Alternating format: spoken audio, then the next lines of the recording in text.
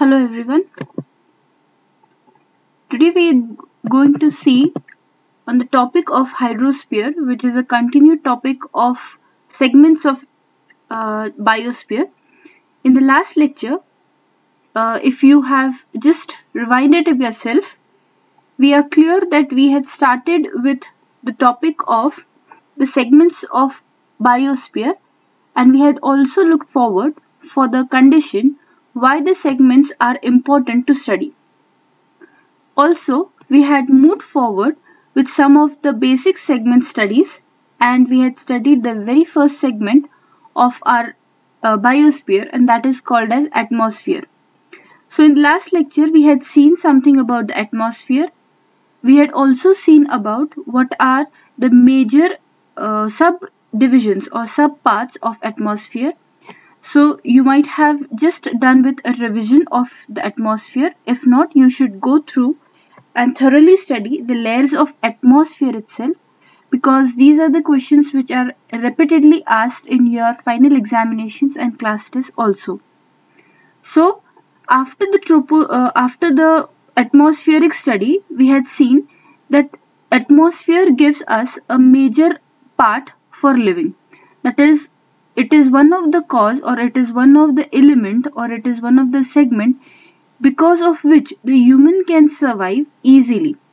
Reason is because it provides air it provides water water in form of water vapor and rainwater. It also helps and provides a form of protection layer from the viral asteroids uv radiations or any other kind of microbial attack which can occur due to uh, external forces. Also, we had seen that the atmosphere or the layers of the atmosphere or the segments of the atmosphere are important for the reason because these segments are uh, an element of survival of uh, humans. For example, if we had seen uh, the kind of organism that is especially the birds for example, we had seen one Ralph vulture. So we find that this kind of organism has a very different kind of living status and we know that these living status need to be studied and because we have to study these living status and organism henceforth we have to look forward for the typical part of the segments of atmosphere Similarly, we had also seen and which are the major questions which were asked now and then are where does the Mount Everest actually occur? What is the different temperature zones? What is the variation in the temperature? Why is there variation in the temperature? How this temperature actually manages the Earth's temperature? How organisms survive or what is the usefulness or what is the harmfulness if there is a change in the temperature of the atmospheric levels. Also we had seen that uh, these type of layers or these type of segments have an important role for the human survival from an economical point of view also. The economical point of view we have seen that the airlines, the spacecraft, space shuttles, all these kinds of uh, equipments which are modernized kind of technology which the human are using is none other than the part of our atmosphere because they have a specific uh, time zone they have a specific distance zone they have a specific uh, area of revolution rotation in which they can stay in which they can capture the images and pass on to the earth Henceforth, atmosphere is one of the major unit. Today we'll look forward for a second important and major unit and that is called as a hydrosphere. So basically what do you mean by hydrosphere? So hydrosphere is nothing else but in a brief if you want to uh, just remember one thing in one sentence but it is just a brief I would rather suggest that the uh, notes given in the PPT should be taken down because these are the notes which are actually uh, drawn out from the last paper. Henceforth, I would rather suggest you that you should take down all these notes and after taking down these notes it would be helpful much more helpful rather to understand the concepts also go through the concepts so let's move on to hydrosphere. Uh, so hydrosphere as the name itself suggests it is hydro and sphere. It is made up of two different words that is hydro and sphere. And hydro itself means water okay? And sphere is something a round body. So we find that the earth is of course now it's a proven idea that earth is a globe actually. That means it is a round in shape or spherical in shape rather i would say and because this is spherical in shape so it has uh, a complete area surrounded by a water body. And that water body or uh, this type of system of water body when it is combined together okay we will be talking about the hydrosphere in a combined form. We are not talk, talking about the hydrosphere in a single form that is uh, maybe a river or maybe an ocean or maybe a uh, any kind of a pond. Not like that. We are actually talking about hydrosphere from the point of view when uh, combined in a total amount. So basic idea you have to keep in mind that hydrosphere is nothing else but a total amount of water on a planet. Okay? Now this total amount of water on the planet can be on the planet under the and above the surface level. Okay? Now when we are talking about the surface level i mean that we are going to look forward from the point of view of earth because our next topic would be something related to earth. So you have to look forward from the point of view of earth. So the water on the earth the water under the earth and water above the earth surface will be called as that means a combined form addition form compiled form will be called as a hydrosphere. And this hydrosphere, though appears to be somewhat a minor in category, but yet it is one of the major source for the living organism. Now this hydrosphere uh, is somewhat that means we have mentioned it in the three form that is on the under and above.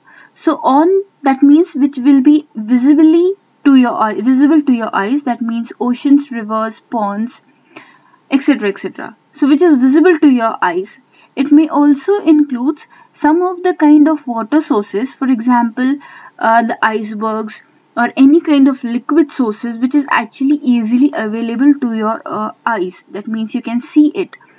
That is called as on the water now the underwater concept means the water which is present in the canals of the earth that means the earth is also having capillaries now what do you mean by capillaries it is a kind of vein system जैसे हमारे body में veins होते हैं blood veins होते हैं उसी तरीके से अर्थ के अंदर भी वेन्स होते हैं जिसे हम इंटरनल कैपिलरीज कहते हैं and these capillaries carry the water like our body veins carry blood nutrient. Similarly the capillaries or internal capillaries carry actually the minerals and water.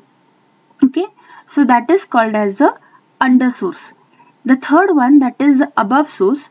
So above source is very easy. We have seen in the last itself uh, last uh, segment also that there is one of the part that is especially in the troposphere where you can find that there are thunderstorms generating. That means there is a creation of the atmosphere or there is a creation of a part which is called as a rain. And when you talk about the above that means we are talking about the cloud we are talking about the fog we are talking about about the water vapors so that is something we are calling about the above sources so these above sources, under sources and on sources of the planet make actually a combined source of hydrosphere. So now you can imagine how much more water could be there. But is it possible that the water has just emerged all of a sudden? No. The answer to this is water has almost arised or the formation actually of water has been started of about 4 billion years ago and it is still now continuing. The only thing which is changing is the shape and the sources of water. That means shape in the sense I'm using the word reason is because water contains minerals. You are also aware with the idea about it that water is not in a pure form that is H2O. It is not that simple but it actually is a combination of minerals. And when these minerals are combined we call it as a change in the shape of the water. Okay? The next one is hydrosphere is caused for the seafloor spreading and continental drift which rearranges a land ocean. Now let's understand this sentence. It means uh, hydrosphere which is caused uh, which is formed. That means whatever the water bodies we see uh, for example oceans or for example uh, rivers or for examples for that case maybe any well we find that these hydrosphere are basically formed or these structures of bodies are basically formed because of the sea floor spreading. Uh, the sea floor spreading means it is actually a process in which आपका mid ocean जो होता है ऐसे consider कीजिए कि आप एक ocean को स्टडी कर रहे हो। ओशन की स्टडी में आपको क्या करना होगा स्टडी आपको उसका सिर्फ़ अबव सरफेस नहीं स्टडी करना है। दैट मीन्स मुझे आपसे ये एक्सपेक्टेड नहीं है कि मैं बोलूँगी कि आप ओशन स्टडी करोगे तो आप मुझे सिर्फ़ जोग्राफिकल एरियाज़ दोगे। आई I मीन mean, आप उसकी वाटर कंटेंट स्टडी करोगे वाटर बॉडी बॉडी स्टडी करोगे but at the same time you are going to study the crust of the ocean. Okay, just keep in mind the word crust. We will come on this word in the next unit. But at present, you have to keep in mind the word that is ocean crust. So we will be studying the ocean crust. That means जहाँ पे sea खत्म होती है you will find that the sea is vast okay i'm saying the sea ends that means you have to go deep inside the sea you have to go deep inside the hydrosphere and you'll find that there is no end. But actually there is a part of end. In this uh, end part of the ocean is called as an crust oceanic crust. And basically this oceanic crust is formed through volcanic activity. So volcanic eruption sabko pata hai. That is a uh, famous concept which we all know. That is because of earthquake and oceanic uh, sorry volcanic activity what our earth is there uh, changing or uh, has changed is capability of only the volcanic activity so similarly goes with sea floor spreading when you go with sea floor spreading you'll find कि जहाँ पे volcano activity होती है volcano activity सिर्फ़ और सिर्फ़ earth surface पे नहीं होगी but it will also take place in the oceans deep oceans also okay? So whatever the mountains we see whatever the peaks we see whatever the valleys also we see it is nothing else but an activity of volcano eruption. Similarly is with the oceans. So you can find there are small islands in the oceans or in the seas and these islands are nothing else but there is a volcanic eruption millions of years back and this activity has created a island over there so that is called as volcanic activity because of this volcanic activity क्या होता है? There is a shifting okay that means जैसे earth को करने के बाद में अर्थ plates shift होती है। अगर आप बहुत ज़्यादा सीवियर अमाउंट में अर्थ क्विक देखते हो किसी प्लेस पे तो you can find on the videos you can just go and search on that this video show the earth is moving what does it mean by earth is moving that means the floor is spreading out okay that means plates हिल रही है। तो अर्थ कैसे बना हुआ होता है हमारा? Plates से बना होता है। So you can understand this concept very clearly in the next unit but at present keep in mind that the earth plates shifts and that is called as sea floor spreading also it is continental drift ना what do you mean by continental drift it was basically a theory okay that with time the geography of earth has has so continental drift का मतलब होता है कि अर्थ ऐसे ही नहीं बना हुआ है। दैट मीन्स uh, जो हमारे कॉन्टिनेंट्स है जो हमारे पार्ट्स uh, है एक साथ आए हुए या फिर जिसे स्प्रेड आउट हो चुका है वाटर बॉडी से जो स्प्रेड आउट हो चुका है it was not actually the thing which was there for millions of years back actually this concept was given by Abraham Oreo ऑर्किल्यूस मैं स्पेल कर रही हूँ, आप लिख के ले सकते हो। It is A B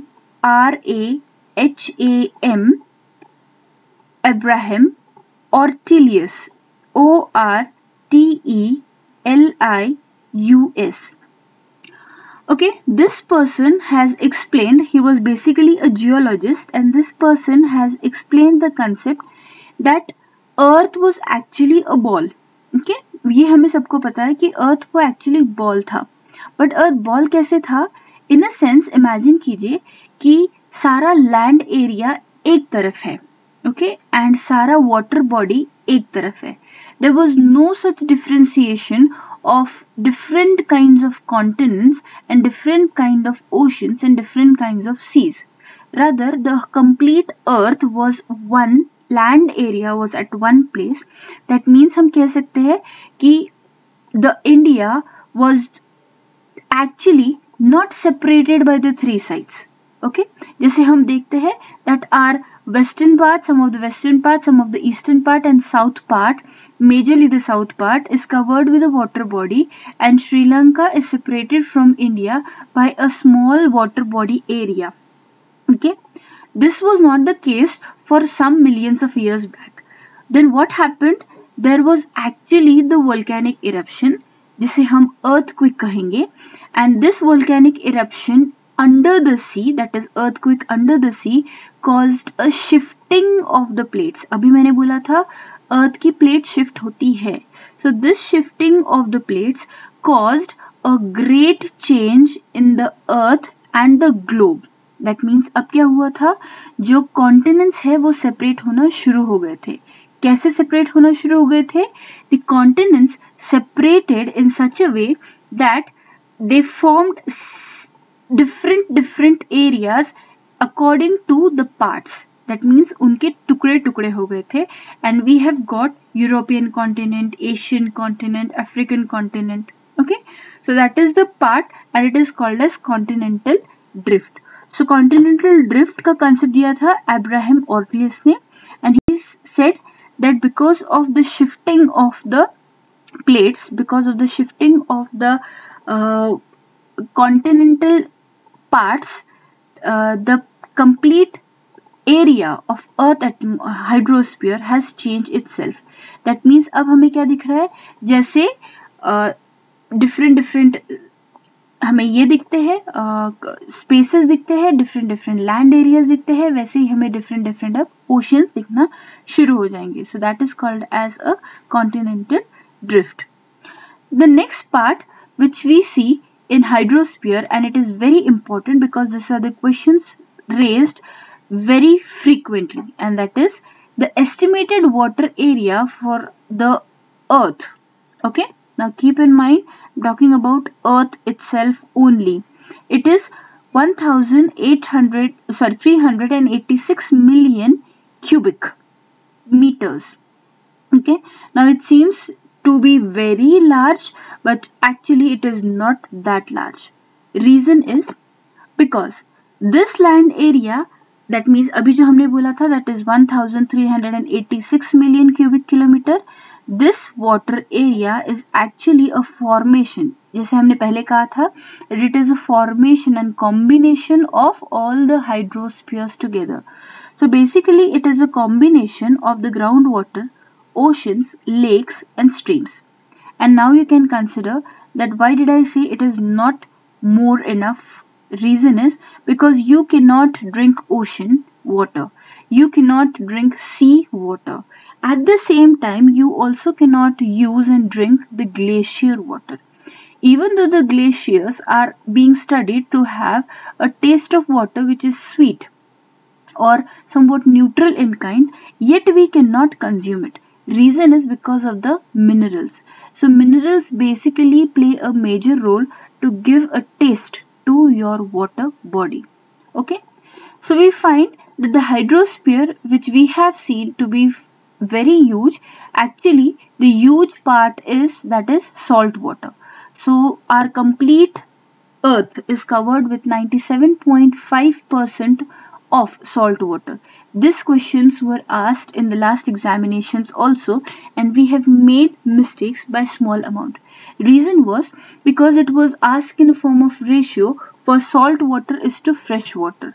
And the ratio was basically given as 98 sorry 97 is to 3 and here we make a confusion so basically the answer is 97 is to 3 but for a much declaration or much appropriate answer you have to keep in mind that the salt water जिसे हम खारा पानी कहते हैं that is sea water ocean water it is basically having a percentage area covering the percentage area or land area or globe of our earth of around 97.5 percent while that of fresh water just that means the water which we can use okay? We cannot use salt water directly. It is impossible but it is in more amount. We can use fresh water directly or indirectly by the processing methods but it is in very less amount. That is only 2.5 percent. But now there is again a very big trick even though the earth's surface gives us 2.5% of water to drink, yet we cannot use the 2.5% of water also. Reason is because out of the 2.5%, 68.9% of water is in the form of ice. And I don't think anyone would be able to consume the water as ice directly to fulfill their thirst Basically, more important is this water is present in the Arctic and Antarctic zone. Okay, जिसे हम glaciers कहते हैं that means जहाँ पे water consumption impossible हो जाता है reason is because it is having or it is actually floating in the area of sea water okay glaciers are there on the upper part and the lower part of our globe that is arctic and antarctic part but these mountain glaciers are there in the seawater. And minerals which these glaciers or ice contains are impossible for a person normal person to take in. Henceforth we cannot consume it. Now the second part. Then how much part do we take from this 22.5 percent? So 68 almost 69 percent is lost in uh, ice the remaining 30.8% is a fresh groundwater. Okay. And only 0.3% is fresh water on the earth. Now what does it mean?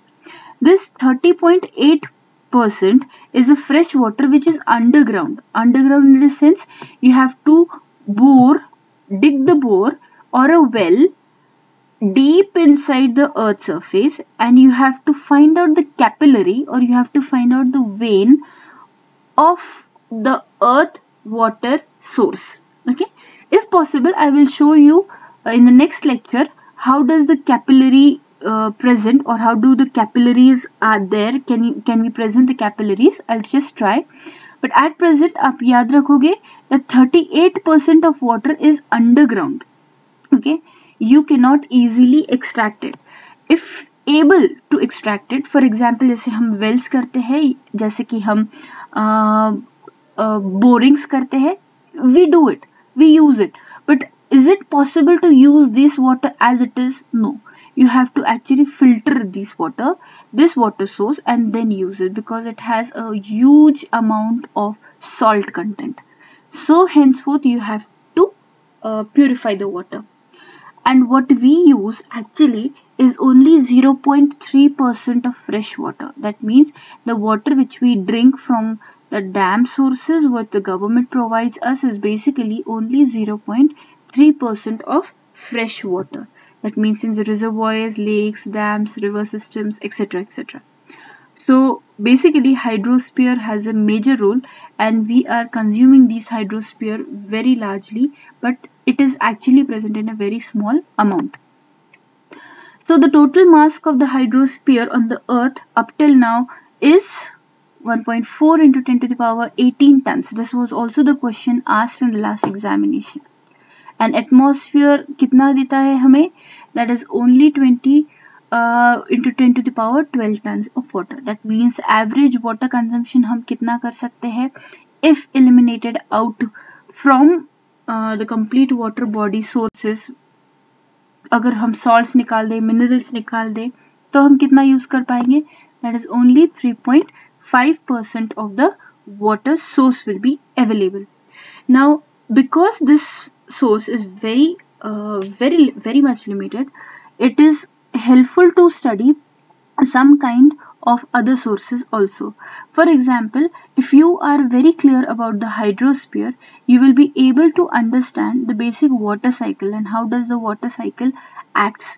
That means how does the groundwater act, how does the atmosphere water acts, how does the stream, river, lake, aquifers, polar ice caps. हमने अभी एक word discuss किया था यहाँ पे that is Arctic and, and, uh, and Antarctic glaciers so basically they can also be called as polar ice caps okay? Ice caps in a sense because they are at the extreme top of our globe henceforth polar ice caps.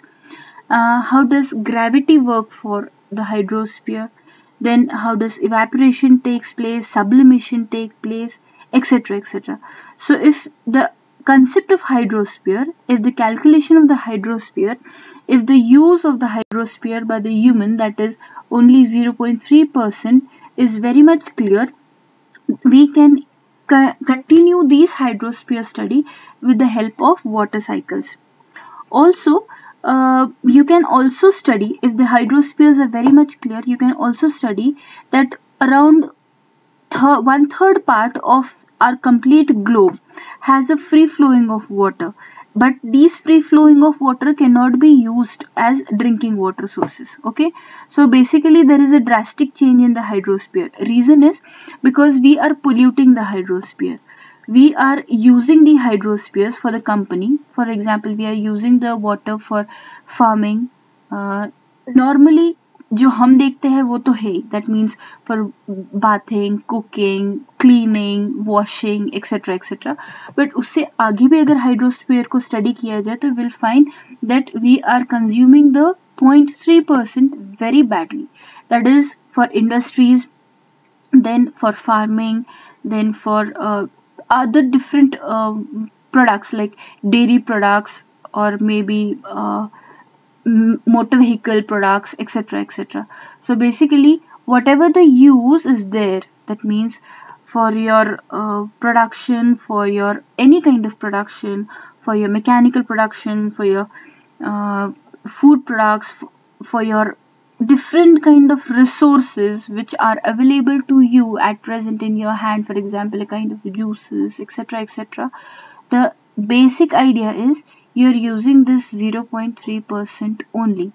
That means यही 0.3 percent हम directly पीने के लिए भी use करते हैं और यही 0.3 परसेंट हम क्या कर रहे हैं इंडस्ट्रीज में फार्मिंग्स में भी यूज कर रहे हैं so it becomes a very challenging part for the earth and the hydrosphere to fulfill the thirst of around millions of peoples at one time okay so this was something related to hydrosphere uh, you can just go forward with the study of the hydrosphere and after you study on the hydrosphere you can just note it down. Till then study hard